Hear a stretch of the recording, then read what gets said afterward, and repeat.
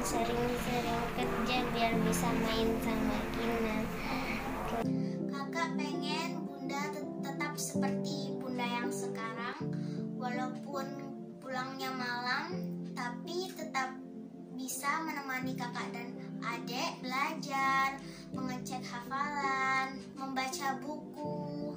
Terima kasih Bunda. Adik ingin selalu bersama Bunda. Bunda, selamat hari Ibu. Adik sayang Bunda. Makasih ya Umi udah jadi Umi aku yang selalu pengertian, nggak pernah kekurangan kasih sayang dan juga udah jadi wanita karir hebat yang bisa aku jadiin panutan.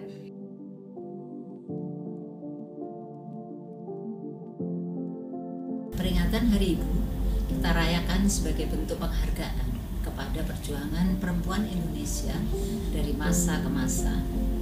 Terlebih lagi, situasi pandemi saat ini tentunya tidak menghentikan langkah perempuan-perempuan Indonesia untuk berkontribusi kepada negeri. Tak terkecuali di Direktorat Jenderal Perbendaraan, para pegawai perempuan turut menjaga pelaksanaan APBN untuk mendorong akselerasi pemulihan ekonomi nasional. Peran tersebut tentu tidak ringan, namun tetap dapat dijalankan dengan baik oleh kita semua.